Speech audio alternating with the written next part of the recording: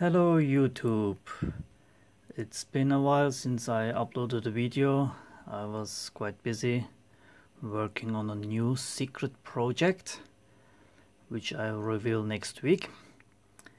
And in the meantime I wanted to show you this guy.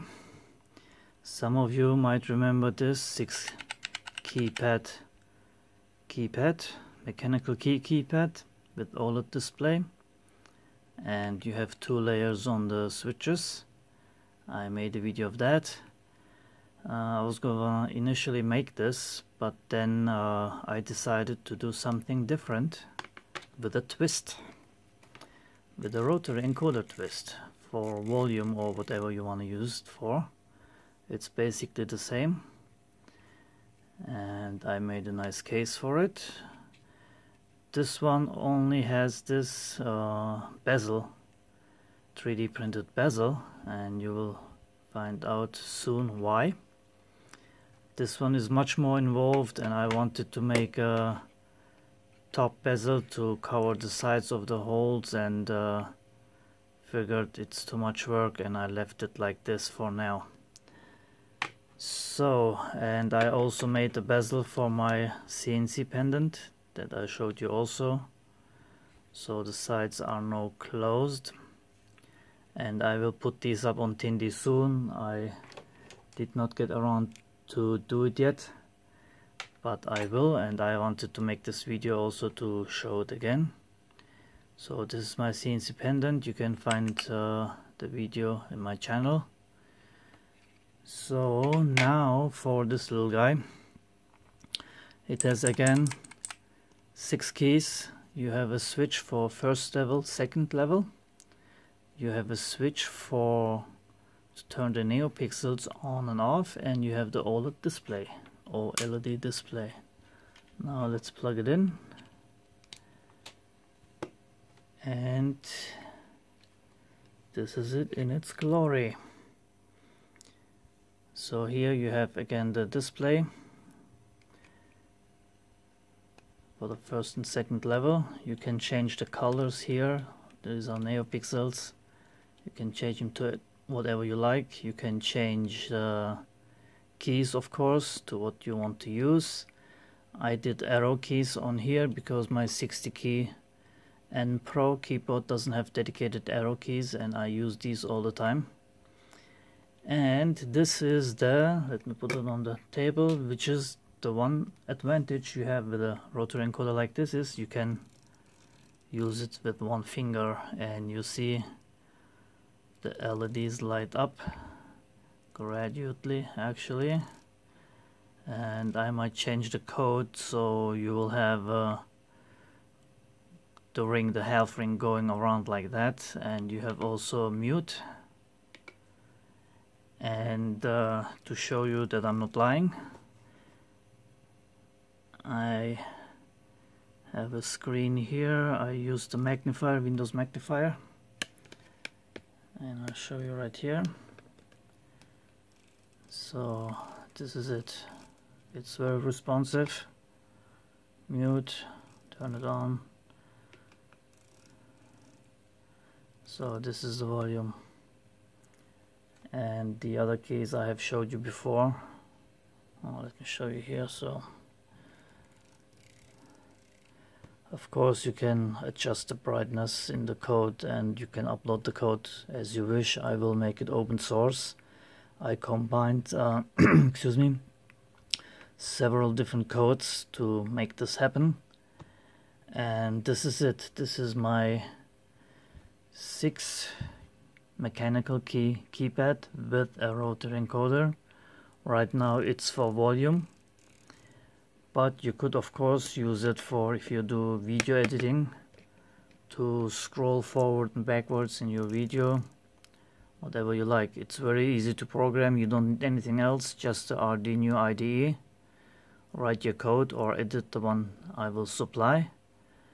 Click upload. As soon as it's uploaded it works. You don't need to plug it in unplug it or whatever. It just works as is and uh, those are the side emitting neopixels that I use also on my police light for RC vehicles. And those are very very bright but uh, as you might know me I love NeoPixels and they can't be bright enough. So this is my keyboard keypad version 2 this one version 1 and of course that one works too. It just don't have the um, it doesn't have the rotary encoder. I just turned the thing off. So this is version 1 if anybody's interested I don't know if I'm gonna put this up there too. I might as well do it since I have it made but uh, this one I like the most.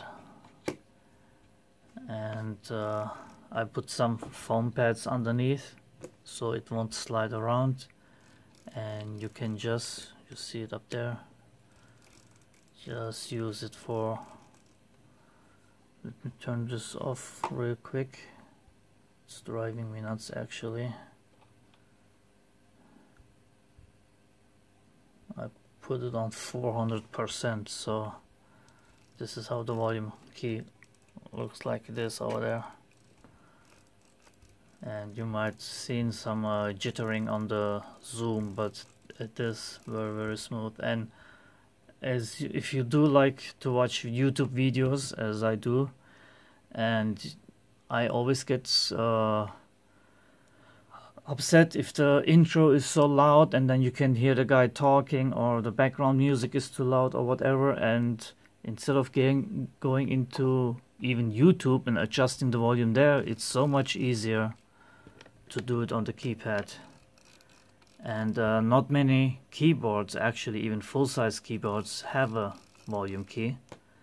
And for anybody who wants to use this it's perfect. And even if you have a laptop which of course doesn't have a volume key just maybe buttons that you have to push shift or function and then plus and minus and which is a pain in the butt. This is much much easier. So this was it. Uh, I also wanted to thank a special person who ordered a GPS from me George from Santa Barbara and he sent me after he paid it and I made it. I sent him out to it, out to him today. Made some pictures and a short video.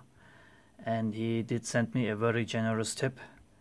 And I really really appreciate it not just because it's money but just the thought of it. It's even more important and that somebody appreciates my work. And uh, thank you again George uh, I will send you an email with the link to this video. So I don't know if you're following my videos or not but maybe you will after this. So thank you for everybody and um, stay tuned if you want to see my surprise in about uh, well the PCBs are ordered. It should come beginning of next week. It takes uh, actually two days from China to Bulgaria and then a whole week from Sofia which is 600 kilometers from here to Silistra which is a city next to me actually 40 kilometers away and since uh, I'm living in a remote location according to DHL and I have to pay taxes, DHL, customs and broker fees. I have to drive 40 kilometers back and forth, 80 kilometers to pick up the package and uh, the people at DHL Sofia, I wish they would uh, work faster, but it, it takes literally a week from Sofia to here, 600 kilometers. And it takes just two days from Hong Kong to Sofia to Bulgaria. Well, anyway, uh, many people will know how DHL works, so we have to live with it. Anyway, long story short, thanks for watching, take care everybody, and see you later.